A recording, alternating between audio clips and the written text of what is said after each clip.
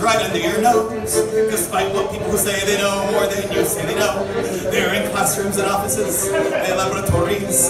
They never got on a clipper ship to sail the southern seas. I was like the masses. I myself was blind, rejecting stories of olden days with the greatness of mankind. Everything we think about our universe is wrong. We lost the truth that we should have been keeping all along. Oh,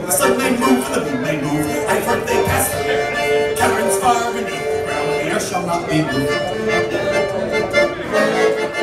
One day after sailing, after six months at sea, our compass was broken, the sun could not be seen. Dehydrated and freezing on the south side of creation, we came upon a sight spoken of in Revelation, an angel holding up a corner of the world. We saw what that holy man saw, the planet did not world.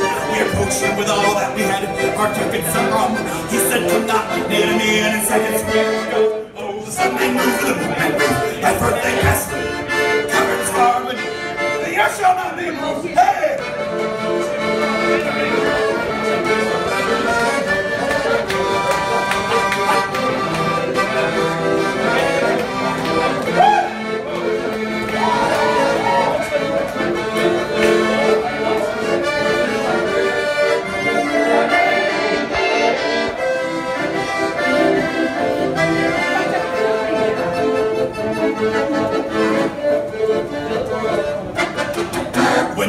It, doesn't that make sense? A place so perfectly tuned for life was surely heaven sent.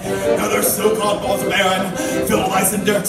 How could we not be the center of the universe? Oh, the sun may move and the may move. I've heard they pass caverns far beneath the ground. The earth shall not be moved. The earth shall not be moved. The